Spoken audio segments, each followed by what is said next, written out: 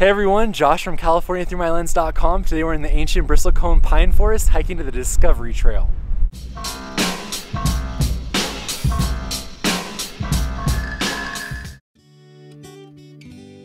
The ancient bristlecone pine forest was set up to protect many of the world's oldest trees. The trees here live in a sparse landscape from around 10,000 to 11,000 feet in the White Mountains. It's not uncommon for these trees to reach ages of up to 4,000 years old. This is my second video on the ancient bristlecone pine forest and you can see the first by clicking in the corner of this video. For this video though, we're focusing specifically on the Discovery Loop Trail.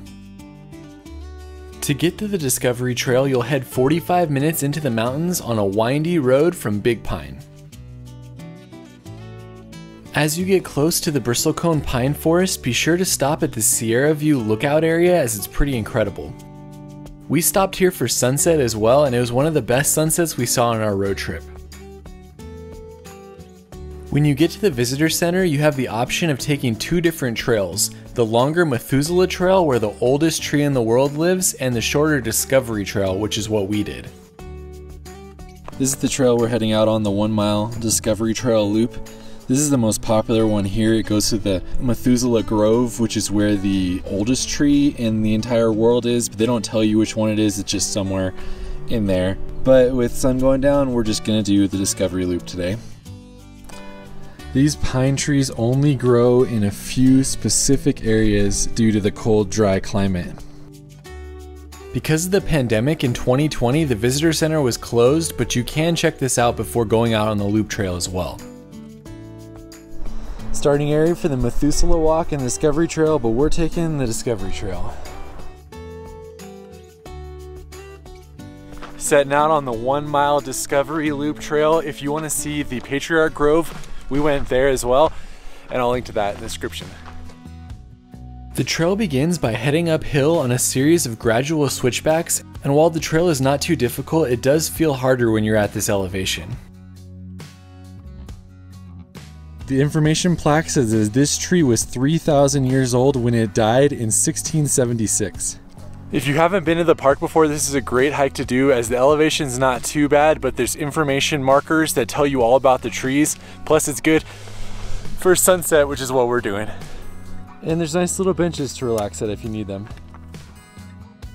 This trail is a really popular one for families since it's not too long and it lets you see a lot of really unique ancient bristlecone pines.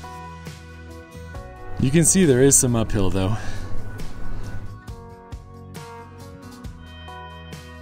So this discovery trail that we're on is where they found the first 4,000 year old tree. There actually ended up being some that were older, but this is where they found the first 4,000 year old one. Also, we learned that the bigger bristle cones are not the oldest. The small, stubbier ones that have been weather beaten, those are the oldest. Dang, check out that one. That is super cool. My dad was telling us lots of science facts earlier, and he said that one's probably 3,000 years old. he, he knows. I remember it when I was a young boy. I keep coming back to this trail because of the insane amount of unique trees there are on such a short hike. You can see some of the best gnarled and weathered trees in this section of the grove. So one of the coolest things about these trees is how they kind of wrap and curl, and this is like a perfect example of this. It's crazy.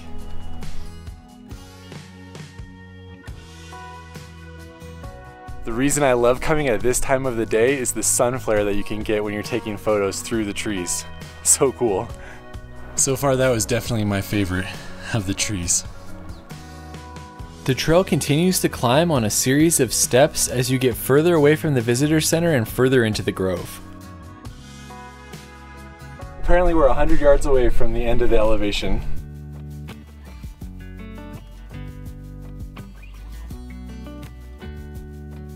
These benches are like beautifully positioned in all the most idyllic spots, so if you just feel like taking a leisurely hike, this is the way to go. Not a bad view. It looks like we're leaving the trees behind and we're going to this more remote area over here, but one of the coolest and most iconic trees is actually in this area.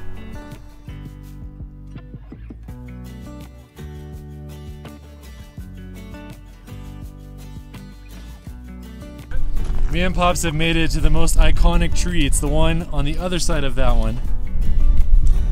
As you descend the loop trail, you'll get to the most photographed tree in the ancient bristlecone pine forest. That's the iconic tree right there. What do you guys think? Is it the coolest tree you've seen on this trail so far or no? We spent some time just watching the sun go down and hanging out with some of the other photographers that were in the area before making our way back to the car.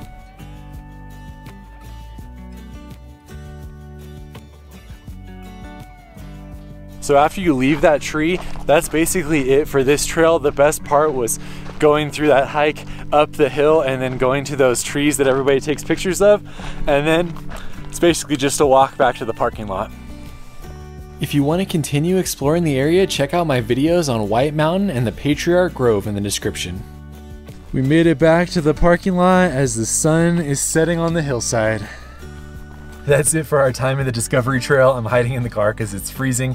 Thanks for exploring with us. Get up here and check out the ancient bristlecone pine forest. It's amazing. We'll see you on the next video.